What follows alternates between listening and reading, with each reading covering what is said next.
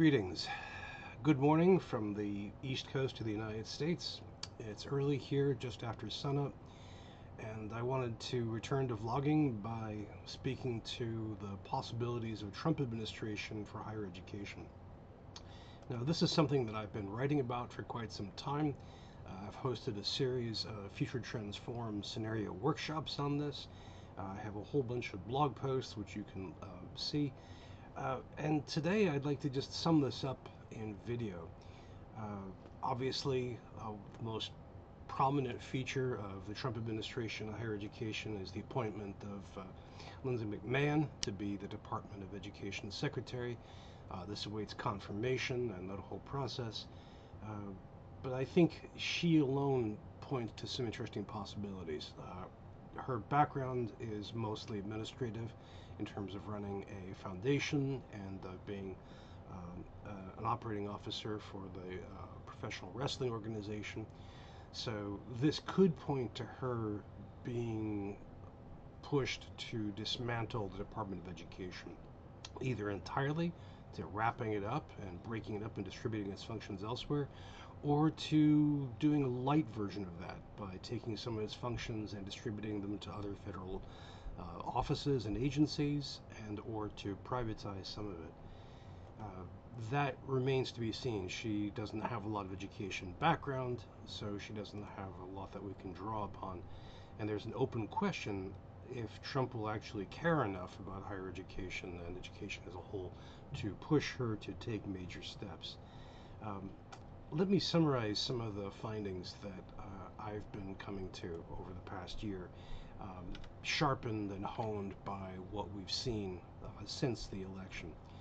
Uh, as I mentioned before, the perhaps the largest uh, or the most prominent form of this is the question of what to do with the Department of Education. The Republican Party has for decades wanted to uh, break it up and end it.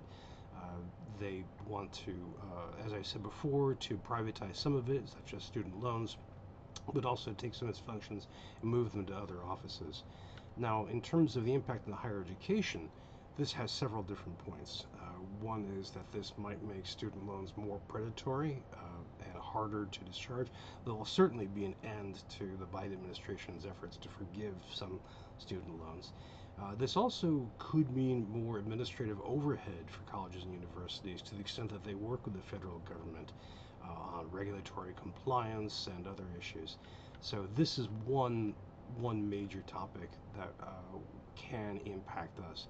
Now, Trump has also vowed to end DEI and woke efforts in the federal government, and this can have all kinds of implications depending on how they are actually implemented. Uh, for example, uh, reducing Department of Education uh, protections or guidelines to protect students, such as uh, sexual minorities or ethnic minorities. Um, there may also be the big push to force changes to the accreditation system. Uh, this is something that Trump spoke to last year. Uh, this is something that we've seen in the state of Florida, which uh, has required Florida's colleges and universities to cycle through accreditors uh, at the very least, this represents a major administrative headache for higher education, having to not just go through accreditation, but to change it up every 10 years or perhaps more frequently. Um, but it also uh, could be a way to force some kind of anti-DEI ideology through accreditors. Um, and in that case, we might see some impact in terms of curriculum, hiring, staffing, strategy at, at colleges and universities. Um, now, there are other options too for uh, what the federal government might do. Uh, for example, the Department of Labor, uh, which uh, is an enormous department with a lot of different uh, connections to higher education, that could stop requiring um, a college degree for its positions and pushing that might have ripple effects in other states and other agencies uh, in an effort to remove the paper ceiling, as some have said. Um, we could also see Department of Labor encouraging apprenticeships. Um, this is a long, long-running desire in parts of America, and that could compete with college and university study. Uh, we could see other implications as well, uh, but a more significant one for some colleges and universities might be going after the finances of colleges and universities. Now, there are a few ways this can be done, um, but we've seen hints of this from J.D. Vance, who has referred several times to uh, Viktor Orban in Hungary going after some universities in that country. Uh, I've got a couple of quotes here that are relevant. Quote, I think Orban's way has to be the model for us, not to eliminate universities, but to give the choice between survival and taking a much less biased approach to teaching, unquote. Uh, quote, whether it's the incentives you put into place, funding decisions that are made, and the curricula that are developed, you can really use politics to influence culture, unquote. So you could see a Trump administration trying to force or influence changes in higher education curricula. Uh, and you could imagine that having ripple effects of, say, for example, state governments, depending on the state, wanting to follow that line, uh, other political figures, funders, uh, and foundations. Now, this is something which uh, might play out in a symbolic level. So you could see, for example, colleges and universities responding by changing the names of certain classes, um, by keeping the curriculum intact, uh, or it might take a more direct route, such as naming and shaming individual faculty, and this could lead to a chilling effect for all kinds of uh, gender-based and race-based uh, pedagogy and curricula. Now, another uh, possible angle has to do with uh, academic protests. We've seen uh, the Trump campaign and a lot of Republicans strongly opposed to Gaza protests. Uh, so we might see a new um, Trump administration go after academic protests, either current protests, uh, to the extent to which we actually see academic protests against the Trump administration as an open question, or historical ones investigating how colleges and universities responded to Gaza protests. So we could see Title IX investigations. We could see, if there's a live protest, uh, Trump encouraging state governments to call it the National Guard, or even more strongly using federal troops. I think looking further downstream, the extent to which the Trump administration does these kind of things might inspire more academic resistance and protests, which then might encourage Trump even further, given that he can't stand disagreement or resistance. Um, another thing to think about is what happens to international education. Uh, international education is, of course, very, very important to American higher education. We have many colleges and universities that rely on international students for a chunk of their enrollment as well as for their funding. Uh, we also see colleges and universities uh, recruiting international students uh, for other reasons, including uh, trying to make their campuses more global as well as trying to diversify their population. Well, we could see this. We could see the Trump administration reacting to this in some, uh, in a few different ways. Um, one of the largest is that we've seen in some previous documents, such as the Project 2025 book, as well as the Agenda 47 um, platform, which asks for colleges and universities to deport supporters or radicals. It also asks them to try to reduce connections to American adversaries. In that case, that means China. So that means reducing the number of Chinese students, especially in certain fields which might be seen as compromising American security, such as AI or bioinformatics. Um, we could see various agencies in the federal government putting pressure on higher education for this, such as the Department of Defense, Department of State, Justice, or Commerce.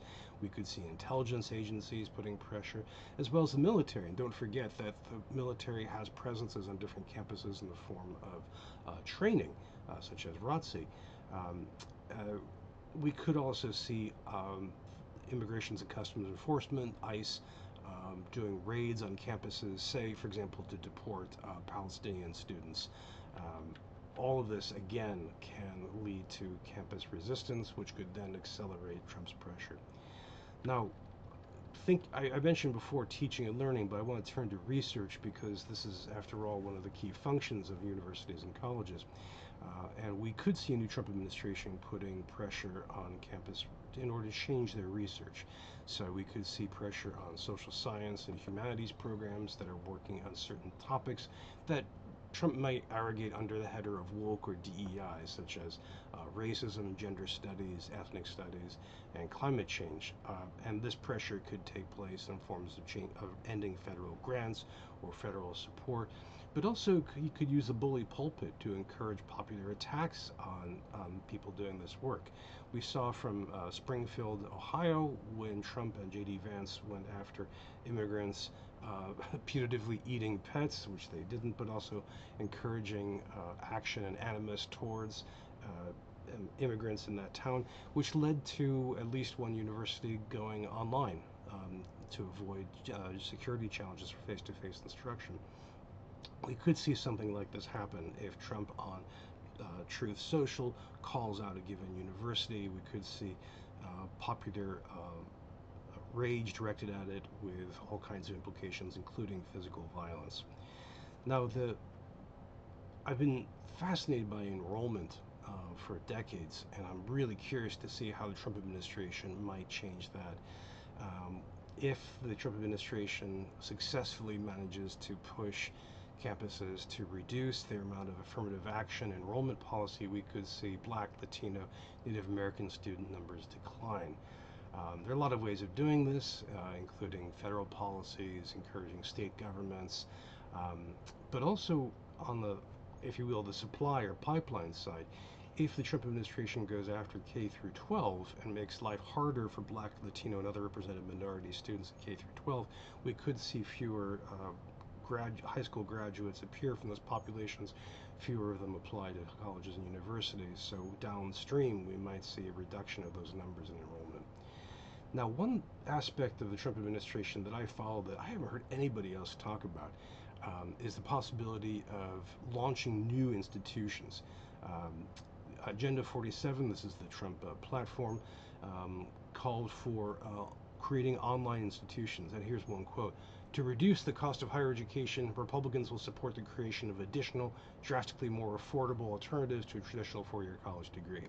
So that might mean we see entrepreneurs kicking off new uh, new online institutions like Western Governors uh, University, for example. It could see an increase in for-profit higher education. We saw that happen under the first Trump administration.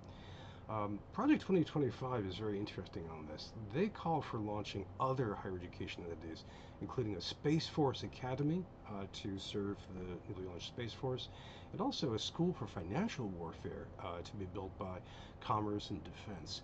So we might see Trump push for new institutions.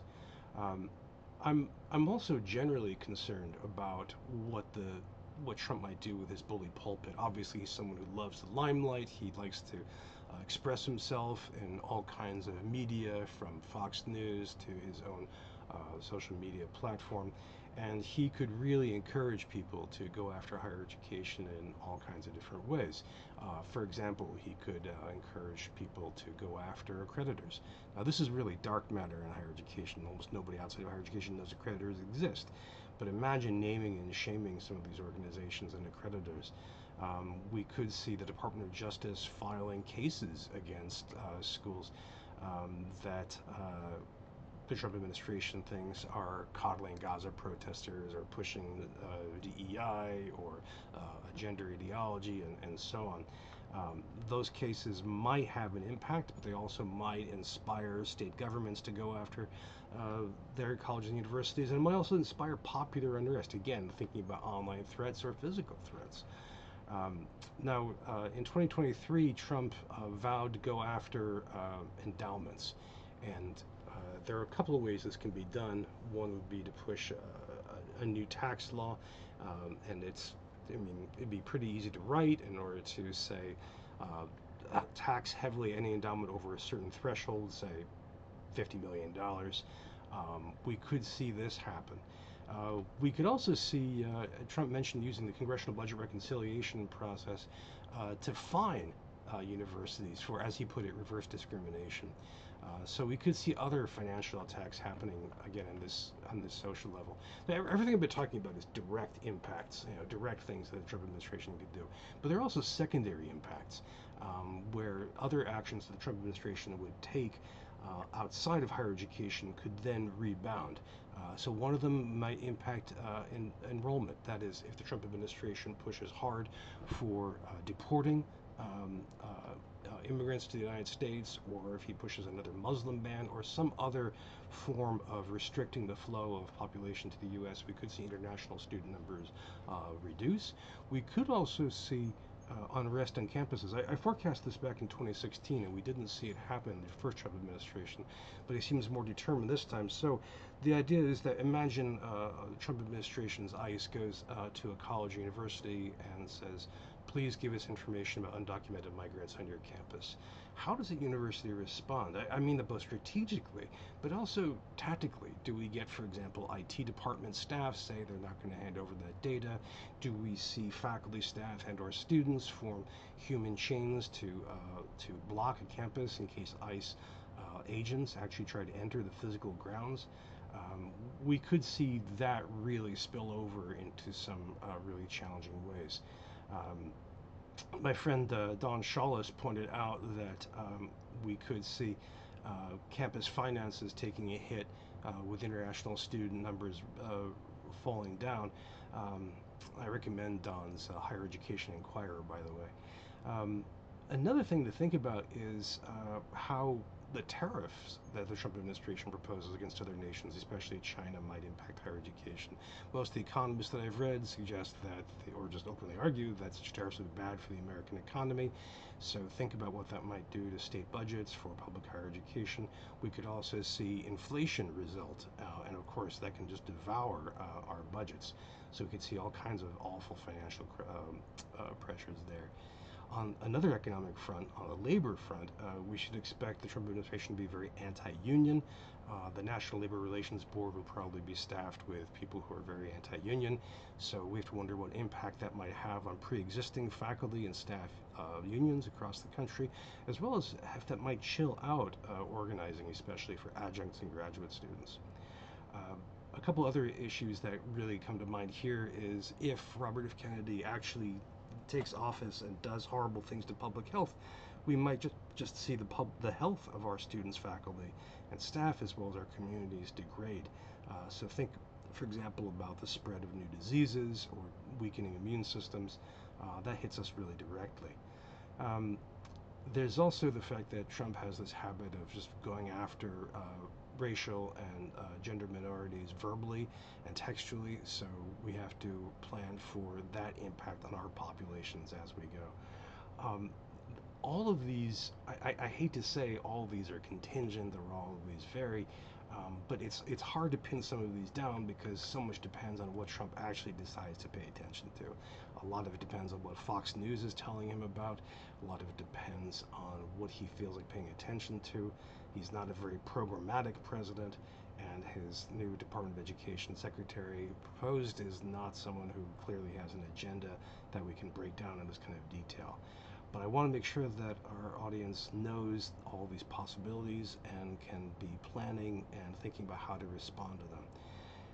I'm, I'm not going to, I don't want to change my tone here. I've been very analytical. Um, it's also very early in the morning, but um, this is potentially terrifying. Um, this is potentially an existential threat to quite a few programs, as possibly colleges and universities. This represents a humanitarian threat to our populations. This is potentially a very, very dark four years. Um, I hope I can help. I hope my work can be of use to academics, academically adjacent people, to help them prepare for this and, and, and go through it in the best way possible. I wish everybody in academia the very best. Good luck, and um, I hope we can get through this together. Thank you for listening and watching.